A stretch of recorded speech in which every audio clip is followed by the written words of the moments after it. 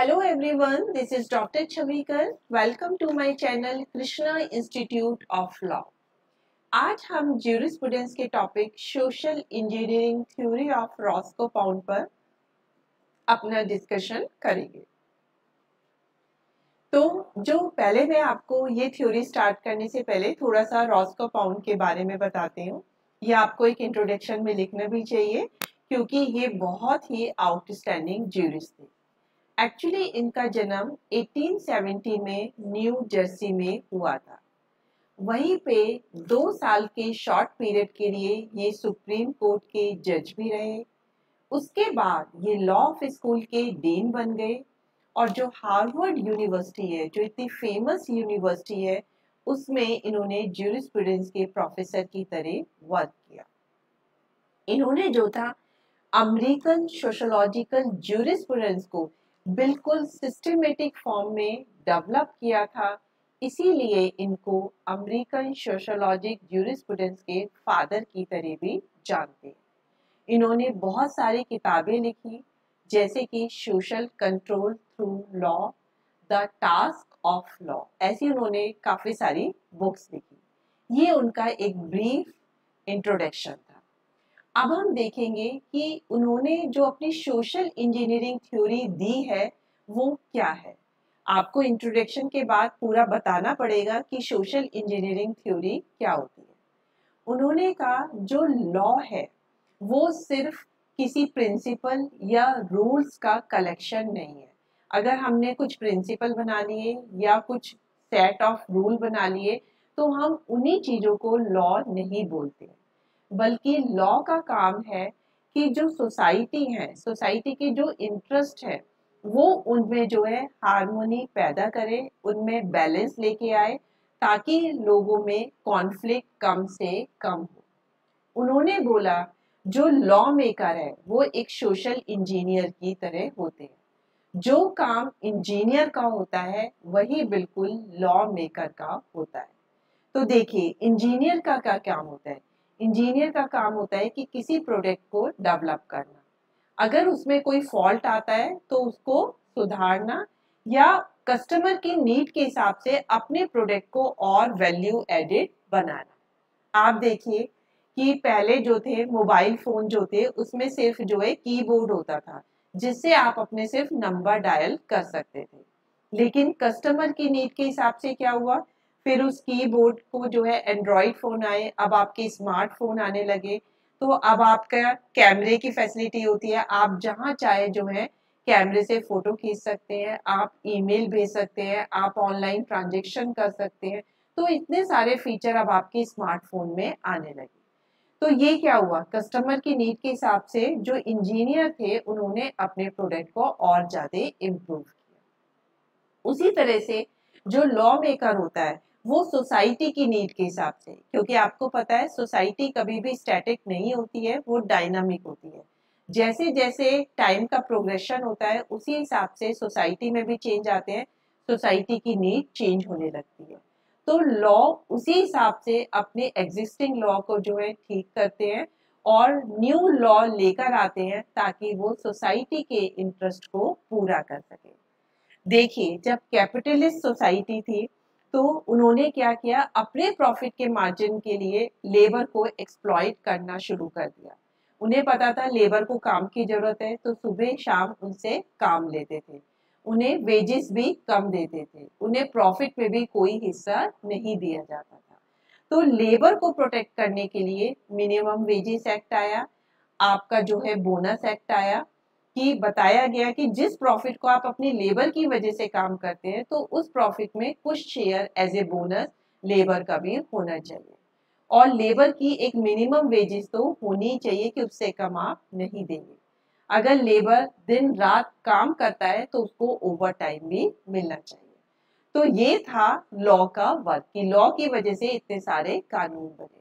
तो this is called social engineering theory of power अब आपको क्लियर हो गया होगा इंजीनियर के एग्ज़ाम्पल से कि जैसे इंजीनियर अपने प्रोडक्ट को ठीक करता है कस्टमर की नीड के हिसाब से, उसी हिसाब से लॉ मेकर भी सोशल इंजीनियर होते हैं, वो सोसाइटी की नीड के हिसाब से अपने लॉ को ठीक करते हैं। अब रॉस्को पाउंड ने जो है सोसाइटी में कहा कि तीन तरह के इंटरेस्ट होते हैं, एक प्राइवेट एक सोशल और तीसरा था पब्लिक इंटरेस्ट प्राइवेट में उन्होंने कहा पर्सनैलिटी से रिलेटेड भी हो सकते हैं, आपके डोमेस्टिक रिलेशन से भी रिलेटेड हो सकते हैं, आपके सब्सटेंस से भी रिलेटेड हो सकते हैं। पर्सनैलिटी में उन्होंने बताया कि आपको इज़्ज़त से जीने का अधिकार है, इज़्ज़त से मरने का अधिकार है। कोई भी आपको जो है अनाप शनाप नहीं कर सकता, आपकी पब्लिक इंसल्ट नहीं कर सकता।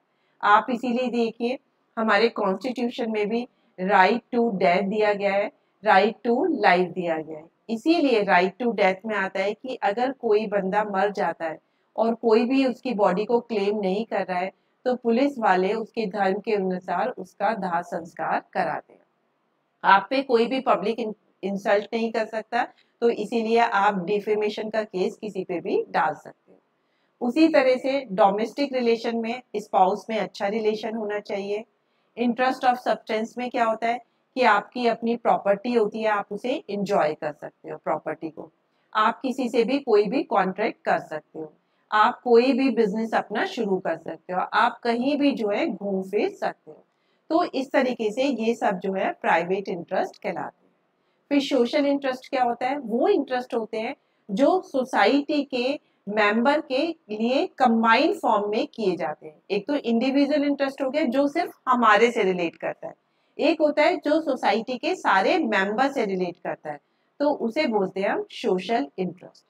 जैसे कि सोसाइटी में लॉ एंड ऑर्डर होना चाहिए, उसमें पीसफुल एटमॉस्फेयर रहना चाहिए, और वहाँ के मेंबर की जनरल हेल्थ का हमें ध्यान रखना चाहिए। तो इस तरह से बहुत सारे इंटरेस्ट होते हैं जो सोसाइटी के मेंबर को पूरी तरह से इम्पैक्ट करते हैं तो वो कहलाते हैं सोशल इंटरेस्ट। अब लास्ट पब्लिक इंटरेस्ट क्या कहता है? कि जो आपके प्राइवेट और सोशल इंटरेस्ट है, अगर कोई इन इंटरेस्ट को वॉयलेट करता है तो पब्लिक या स्टेट होती है जो उनके गार्जियन की तरह काम करती है। तो अगर कोई भी वॉयलेट करता है तो वो उन्हें पनिश भी कर सकती है और इस तरह से हम बोलते हैं, ये होते हैं आपके पब्लिक इंटरेस्ट तो पॉन्ड ने तीन टाइप के इंटरेस्ट बताए प्राइवेट सोशल एंड पब्लिक उन्होंने कहा कि लॉ का काम होता है कि इन सभी इंटरेस्ट को वो बैलेंस में रखे। कोई भी ओवरलैपिंग ना हो और इन तीनों इंटरेस्ट में हार्मोनाइजेशन होना चाहिए ताकि हमारे कॉन्फ्लिक्ट जो है मिनिमम से मिनिमम उन्होंने कहा, अगर हम हार्मोनाइज नहीं करेंगे तो हमारे जो है बहुत ज़्यादा जो है फिर कॉन्फ्लिक्ट आने लगेंगे। तो वो कहते थे कि इनमें जो है कोई भी कॉन्फ्लिक्ट नहीं आना चाहिए। हर एक के साथ जो है विन विन सिचुएशन होनी चाहिए। उन्होंने कहा कि देखिए, आपका प्राइवेट इंटरेस्ट है कि आप कहीं पर भी घूम फिर सकते हैं, आराम से जा सकते हैं। लेकिन सोशल इंटरेस्ट क्या कहता है कि हमारा लॉ एंड ऑर्डर भी होना चाहिए। तो अगर प्राइवेट इंटरेस्ट जो है, हम किसी के भी घर में घुस जाते हैं, किसी की भी कोई चीज़ हमें अच्छी लगती है तो हम उसे उठा लेते हैं। तो हमें तो लगता है, भाई, हमारा प्राइवेट इंटरेस्ट है, हमें कहीं भी आने जाने की सुविधा होनी चाहिए। लेकिन अगर आप किसी के भी घर में घुस जाओगे तो एक तरीके से सोसाइटी का लॉ एंड ऑर्डर ब्रेक होता है। तो यहाँ पे दोनों इंटरेस्ट में जो है कॉन्फ्लिक्ट आ गए। क्योंकि एक जो प्राइवेट इंटरेस्ट है, वो आपका विन कर रहा है और सोशल इंटरेस्ट लूज कर रहा है। तो हमें विन विन पोजीशन चाहिए कि सोसाइटी में लॉ एंड ऑर्डर भी बना रहे और प्राइवेट इंटरेस्ट भी बना रहे। तो इस तरीके से हमारे को बैलेंस करना है। तो फिर उन्होंने इसके लिए कुछ पॉस्टुलेट बताए। देखिए ज्यूरल पॉस्टुलेट क्या होते हैं? ये एक तरीके की गाइडलाइंस हैं। या आप इन्हें एजेंशन कह दीजिए, या आप इन्हें आइडियल स्टैंडर्ड कह दीजिए। जो कि सोसाइटी में जो है फॉलो होनी चाहिए, तभी लॉ जो है जो आपकी इंटरेस्ट होते हैं, उसमें बैलेंस प्रोवाइड करवा सकता है। तो ज्यूरल पॉस्टुलेट क्या कहलाए? कि वो आइडियल नॉर्म्स वो आइडियल गाइडलाइन जो कि एक सिविलाइज सोसाइटी को फॉलो करनी चाहिए। देखिए, पहला ज्यूरल पॉस्टुलेट क्या कहता है? कि हम ये एज्यूम करके चलते हैं कि कोई भी इंटेंशनली हमारे पे एग्रेशन नहीं करेगा। इंटेंशनल एग्रेशन का क्या मतलब है? कि अगर हम सड़क पे जा रहे हैं तो कोई भी हमें बिना मतलब पीटना शुरू नहीं कर देगा, या जो है हमारी चीज़ को चोरी नहीं कर लेगा तो हम ये एज्यूम करके चलते हैं। नहीं तो फिर कोई भी जो है, हमारा जो है, जो इंटरेस्ट है, वो कभी भी बैलेंस नहीं हो सकता। सेकेंड ज्यूरल पॉस्टुलेट में उन्होंने बताया कि सिविलाइज सोसाइटी में हम ये मान के चलते हैं कि जो भी चीज़ हमने अपनी लेबर से बनाई है या हमने परचेज करी है, उसको हम जो है अपने पर्पस के लिए यूज़ कर सकते हैं। फॉर एग्ज़ाम्पल हमने कोई मकान बनाया तो हम उस मकान को अपने हिसाब से यूज़ कर सकते हैं। ये नहीं कोई कोई थर्ड पार्टी आए, कभी भी हमारे घर में घुस जाए तो वो बिल्कुल गलत होगा। तो हमें ये गाइडलाइंस माननी चाहिए कि हमने जो भी चीज़ बनाई है या जो चीज़ परचेज करी है, उसे हम अपने फ्रीडम के हिसाब से यूज़ कर सके। नेक्स्ट ज्यूरल पॉस्टुलेट थर्ड में उन्होंने बताया कि हम सिविलाइज सोसाइटी में ये मान के चलते हैं कि अगर हम किसी भी सोसाइटी के मेंबर के साथ कोई भी डीलिंग करते हैं तो वो गुड फेथ में करते हैं। तो देखिए, जैसे हम किसी से कॉन्ट्रैक्ट करते हैं कि आज हम मकान ले रहे हैं किसी से, या हम कोई कार खरीद रहे हैं तो हम मान के चलते हैं कि दूसरा बंदा हमें अच्छी कार प्रोवाइड कर रहा है, हमें जो है ऐसा घर प्रोवाइड कर रहा है जिसमें कोई भी डिस्प्यूट नहीं हो। तो हम गुड फेथ में ये सब चीज़ें जो है एज्यूम करके चलते हैं। अब जूरल पॉस्टुलेट फोर्थ बताता है कि अगर हमारा जो कोर्स ऑफ़ कंडक्ट है, हम किसी के साथ कोई भी काम करते हैं तो उसमें हम ड्यू केयर से ही वर्क करेंगे। देखिए, अगर हम कुछ राइट right चाहते हैं तो हमारी ड्यूटी भी होती है कि जैसे हम अपना राइट चाहते हैं तो वैसे ही हम ड्यू केयर से भी कार्य करेंगे। फॉर एग्ज़ाम्पल अगर फैक्ट्री का मालिक ये चाहता है कि मेरा प्रोडक्शन अच्छे से अच्छा और बहुत क्वालिटी वाला प्रोड्यूस करे तो उसको भी ध्यान रखना पड़ेगा कि उनके लिए कोई वो हजार्डियस अगर एक्टिविटी में काम करे तो उसको फुल प्रोटेक्शन दी जाए ताकि वो उन हजार्डियस एक्टिविटी में काम करते हुए लेबर अपने को सेव कर सके। तो लोगों से डील करते समय हमें ड्यू केयर को जो है याद रखना है। अब लास्ट जो है, ड्यूरल पॉस्टुलेट फिफ्थ बताता है कि हम सिविलाइज सोसाइटी में ये मान के चलते हैं कि दूसरे लोग जो चीज़ों को मेंटेन कर रहे हैं या वो कोई एजेंसी में वर्क कर रहे हैं तो वो हार्मलेस वे में जो है वर्क करेंगे। तो ये थी सिविलाइज सोसाइटी के मतलब एक तरीके से गाइडलाइन जो कि हम ये मान के चलते हैं कि सब लोग इनको फॉलो करेंगे ही करेंगे। अब इनकी जो है, उन्होंने अपनी सोशल इंजीनियरिंग की थ्योरी तो दे दी। अब उनकी इस थ्योरी को जो है क्रिटिसाइज भी किया गया। वो क्रिटिसाइज क्या थी? कि उन्होंने बताया कि आपको मैंने पहले ही बताया था, उन्होंने कहा जो लॉ मेकर होते हैं, वो बिल्कुल इंजीनियर की तरह होते हैं। अब इंजीनियर तो फैक्ट्री में वर्क करते हैं। और जो लॉ मेकर होते हैं, वो सोशल इंजीनियर होते हैं तो वो सोसाइटी में वर्क करते हैं। तो इनके क्रिटिक्स ने कहा कि फैक्ट्री और एक सोसाइटी में बहुत ज़्यादा डिफरेंस होता है। फैक्ट्री की चार दीवारियों में रहते हैं, उसकी अपनी एक प्रिजम्पन होती है, वहाँ एक पंचुअलिटी होता है, वहाँ पे कुछ मतलब नॉर्म्स चलते हैं। लेकिन सोसाइटी में इस तरह से हम उसको चार दीवारी में बाँध के नहीं रख सकते। तो जब सोसाइटी को हम फैक्ट्री के साथ तुलना कर ही नहीं सकते तो फिर हमारा ये इंजीनियरिंग का कंसेप्ट भी बिल्कुल बेसलेस हो जाता है। नेक्स्ट उन्होंने बताया कि रॉस्को पाउंड ने जो इंटरेस्ट का क्लासिफिकेशन किया है, वो तीन तरीके से कर दिया, कि प्राइवेट इंटरेस्ट सोशल इंटरेस्ट और पब्लिक इंटरेस्ट लेकिन इन सारी ही चीज़ों को, हमें सभी तरह के इंटरेस्ट को इन तीन चीज़ों में क्लासिफाई करना बहुत डिफ़िकल्ट होता है। उसमें ओवरलैपिंग होती रहती है। अब मैं आपको इसका एग्ज़ाम्पल देती हूँ। देखिए सोसाइटी का एक इंटरेस्ट है कि पॉल्यूशन फ्री सोसाइटी रहनी चाहिए। नहीं तो ये सभी लोगों पे इम्पैक्ट डालती है। अब आप देखिए कि दिल्ली को जो है, सबसे ज़्यादा जो है पॉल्यूटेड सिटी माना जाता है। तो दिल्ली एनसीआर को। तो अब लोगों के लंग्स में दिक्कत होने लगी, उन्हें ब्रीथिंग में प्रॉब्लम होने लगी। पहले तो लोग बाग ध्यान नहीं देते थे, खूब फैक्ट्रीज चला रहे हैं, अपनी पॉल्यूशन हो रहा है, खूब व्हीकल चला रहे हैं, खूब पॉल्यूशन हो रहा है। लेकिन जब उनको हेल्थ में प्रॉब्लम आने लगी तो अब उनका ये जो पॉल्यूशन से हमारी सेफ्टी हो, ये उनका प्राइवेट इंटरेस्ट भी बन गया। तो इसीलिए कि जो क्लासिफिकेशन ऑफ़ इंटरेस्ट है, वो चेंज भी होता रहता है और हम इन्हें एक स्पेसिफाई उसमें नहीं कर सकते कि ये सोशल इंटरेस्ट है या ये प्राइवेट इंटरेस्ट है। तो पॉल्यूशन से मुक्ति माना, एक तरीके से आपका इंडिविजुअल इंटरेस्ट भी हो सकता है और ये आपका सोशल इंटरेस्ट भी हो सकता है। नेक्स्ट था, उन्होंने कहा, ये जो इंटरेस्ट होते हैं लॉ का काम है कि वो इन सबको हार्मोनाइज करें, जिससे कि कॉन्फ्लिक्ट कम से कम हो। उन्होंने कहा, जो क्रिटिक्स थे, ये बहुत ही डिफ़िकल्ट प्रोसेस है कि सभी डाइवर्स इंटरेस्ट को हम हार्मोनाइज करें। क्योंकि जनरली क्या होता है कि आपकी सोसाइटी जो है, बहुत डाइवर्स तरह की होती है। यहाँ डिफरेंट साइकोलॉजी के लोग रहते हैं यहाँ पे डिफरेंट बोली के लोग रहते हैं डिफरेंट पहनावा होता है डिफरेंट तरह के आपके कपड़े पहनते हैं डिफरेंट तरह के खाना खाते हैं।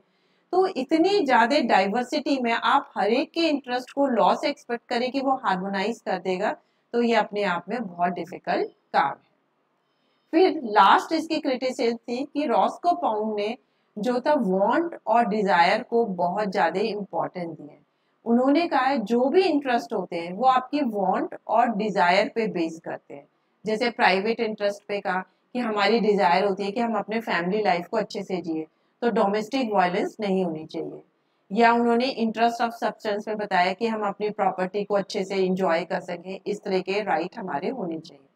तो उन्होंने कहा कि बहुत सी पर्सनल फ्रीडम के भी जो है इंटरेस्ट होते हैं, क्योंकि रॉस्को पाउंड ने ये जो वांट एंड डिज़ायर थी, उसको मेटेरियलिस्टिक चीज़ों से जोड़ दिया, भौतिक संसार से जोड़ दिया।